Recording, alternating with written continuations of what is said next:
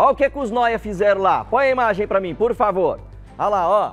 Caiu para dentro. É, ali na perimetral, ali abaixo da senador Moraes Filho.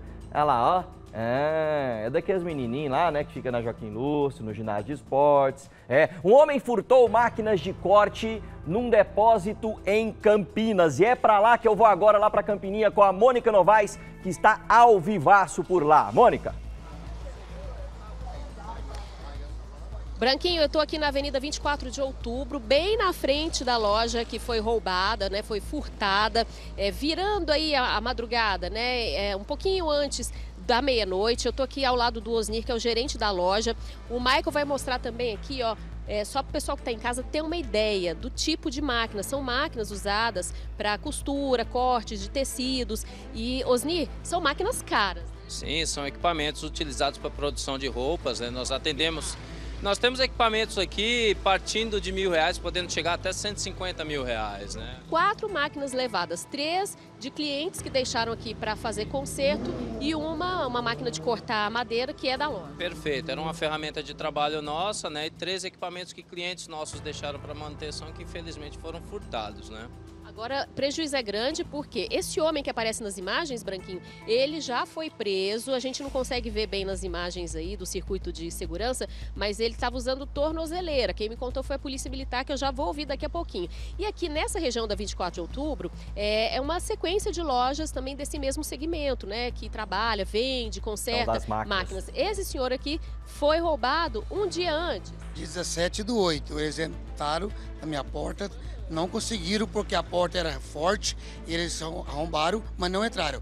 Mas foi no vizinho aqui e conseguiram entrar. Sempre eles estão passando aqui. Aí o vizinho puxou na câmera, era meia-noite e 34 que eles entraram, esse horário. Sempre esse horário que eles vêm. Eles vêm o horário que tem menos movimento para entrar, para roubar. Vamos falar com o senhor agora também aqui. O senhor também é comerciante da região, do mesmo segmento, né, de máquinas de costura. Chegaram a levar máquinas? Não, levou peças e dinheiro, né? Até eu não tenho imagens de nada, entendeu? Não tem horário, mas só o vizinho dele aqui, full. Mas assim, polícia, é, polícia civil veio, militar veio, tudo fez ocorrência, pegaram as digitais, entendeu? Agora vou passar né, para os profissionais para ver se tem pessoa, né? Mas assim, até o momento não de mais nada.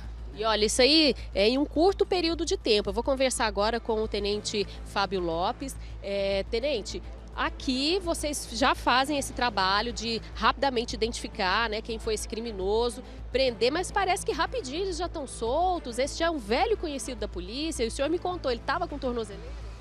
Exatamente. A Polícia Militar do 38º Batalhão é a polícia que mais prende na capital. Mas infelizmente lá na Central de Flagrantes, na maioria das vezes eles saem. Mas a gente não preocupa com isso. Ah, muitas vezes o pessoal fala em enxugar gelo, mas mesmo assim a Polícia Militar está fazendo um trabalho com excelência. Inclusive damos, demos uma resposta à sociedade aí, com menos de 12 horas, prendendo o autor desse furto aqui. Ele já tinha passagens, então ele, no momento ele estava usando tornozeleira e o senhor depois também me contou que ele chegou é, é, a quebrar uma algema. Exatamente, ele é um morador de rua agressivo, é, geralmente ele é, reage à abordagem, é, mas a Polícia Militar, hoje mesmo, ele quebrou a algema, ele é um cara forte, conseguiu quebrar a algema, mas mesmo assim, a nossa equipe conteve ele e levou para a central de flagrante. Ele é tornozelado, é, já, já tinha sido preso por nossas equipes há mais ou menos uns 15 dias atrás. Enfim, 80% desses moradores de ruas aqui já foi preso pela Polícia Militar. Você está bem pertinho, né, da Praça Joaquim Lúcio, que está com esse problema grave, né, ali abrigando, infelizmente abrigando é, esse pessoal que mora nas ruas, muitas vezes usa drogas e até para comprar essa droga pratica esses crimes. Exatamente. É, na verdade, a sociedade fica reclamando com a polícia militar sobre a situação desses moradores de ruas. Isso não é nem função da polícia militar, eu quero deixar bem claro. É, é um problema social que cai na mão da polícia militar, mas a gente faz a nossa parte. Nós prendemos, e a prova disso, como eu reafirmo para você, esse furto aqui, como todos os outros aí, a Polícia Militar tem prendido. Agora, a, a gente não questiona o motivo dele sair na audiência de custódia, mas a função de prender, a Polícia Militar do 38º Batalhão faz com excelência. Dessa vez esse aí parece que vai ficar preso mais um tempinho. Sim, esse, esse ficou preso, mas a maioria das vezes chega lá e sai primeiro que a viatura. O pessoal fica redigindo a ocorrência e ele sai pronto para furtar novamente. E é um crime que acontece, a polícia militar, como foi dito por um comerciante aí, é, eles agem aí na, na madrugada e a polícia militar está patrulhando a 24 de outubro, 24 horas patrulhando dioturnamente, atendendo a sociedade. Mas muitas das vezes esse crime é um crime silencioso. Eles, eles no momento aí que eles vê que não tem movimento algum, eles caem para dentro da, da loja e a viatura muitas das vezes passa na frente, mas não, não tem como perceber. Muitas das lojas não tem nem circuito de câmeras e nem é, é, alarme para acionar. Então, infelizmente, não tem como a Polícia Militar agir. Mas estamos prendendo e dando uma resposta à sociedade.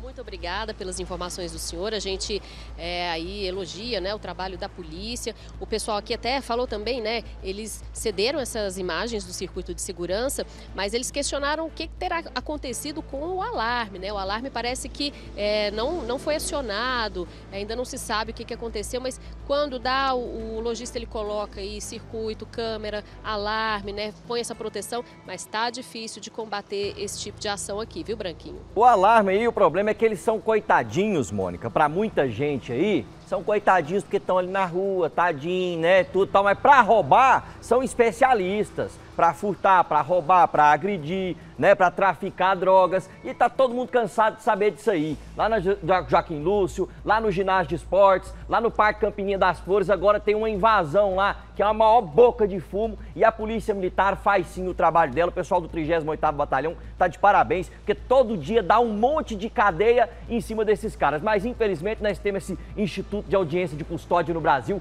que é um desserviço. Quando o, o, o policial tá lá com a viatura parada, em vez de estar tá patrulhando, porque tá lá preenchendo relatório lá de prisão em flagrante desses cabras aí, no outro dia a audiência de custódia, muitas vezes no mesmo dia, sai antes que os policiais terminem ali de passar as informações. Infelizmente, esse é o nosso país. Ainda tem um monte de gente que não faz nada e ainda faz e atrapalhar. Valeu, Mônica. Agradeço o pessoal do 38º Batalhão. É isso mesmo.